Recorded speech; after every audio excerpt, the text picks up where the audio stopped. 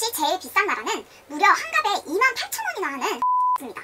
찾아주셔서 고맙습니다. 담배값이 가장 비싼 나라 1위는 어떤 나라가 제일 비싼지 영상을 통해 꼭 확인해보세요. 채널 고정!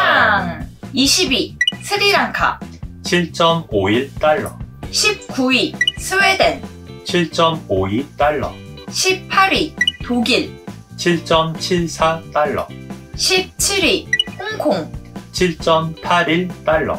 16위 벨기에. 7.98달러. 15위 미국. 8.0달러.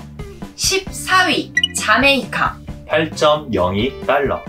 13위 네덜란드. 8.33달러. 12위 스위스. 9.40달러. 11위 핀란드. 9.53달러. 10위 이스라엘 10.41달러. 9위 싱가포르. 10.42달러. 8위 아이슬란드. 10.54달러. 7위 캐나다. 11.45달러. 6위 프랑스. 11.91달러. 5위 노르웨이. 14.21달러. 4위 영국. 14.69달러.